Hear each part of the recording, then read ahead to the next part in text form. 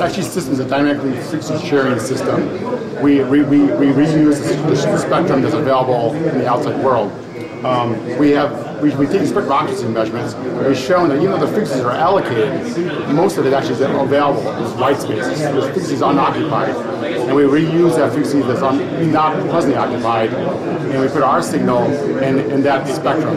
We use a 802.16 signal, and we frequency translate that to the 225 to 600 megahertz band. That's the current frequency band we use. Um, the signal is about 1.75 megahertz wide, and we, we move that into the band and choose a frequency that is available. When a primary exists on that channel, we vacate that channel and we use another channel. We have more than one XG radio and they negotiate where to move to. So if, any radio sees a signal, a primary show up, they negotiate amongst themselves to find a new frequency to use and they all vacate and move to that new frequency and reestablish the communication. That happens we, we vacate within a half second. The negotiation happens within a half second. Um, we also can allow ourselves to adapt the, adapt, adapt the bandwidth. If we have more bandwidth available, we can make our signal a wider bandwidth, and, and, and that way have more throughput through that, the, the, radios.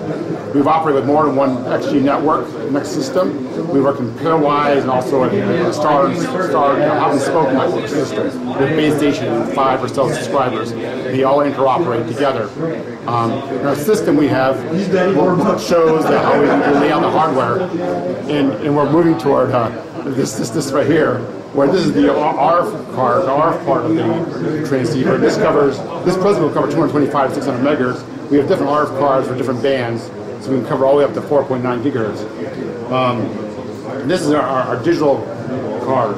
Inside here, there's, there's actually 802.16 chip set, and also our detector, which is the DSP. The, the, top layer is our processing, the processing for our algorithms and for policy. We can control it remotely through Ethernet, like a laptop, but we use the RF part to antennas. And so this is a self-contained XG system. Um, and this is what we're moving toward, and we'll have this in a few, few, few months. This, this is a, a plot of the spectrum occupancy at the ComReg building here in Ireland. Um, this right here is a frequency axis. This is the power level. This is a max hold plot. So over a 40-hour duration, we capture energy over these frequencies. And this is the maximum energy we see over these frequencies. You can see that most of it actually has a low power level. So these frequencies are actually available to use. They're unavailable. They're actually white space. This plot shows the same thing, but in time right here, time on the y-axis. You see it's mostly white in color. So that shows that basically this, this time right here, you can use that frequency over the whole 40-hour period. This frequency is over, over the 440-hour period. And sometimes the other frequencies have been used, but interspersed. You get to share your frequencies. And we did this for other other bands. You see it for other bands. There's also a lot of white space and, and periodic. You know, there's a signal here. There's, there's a big gap right there. White space.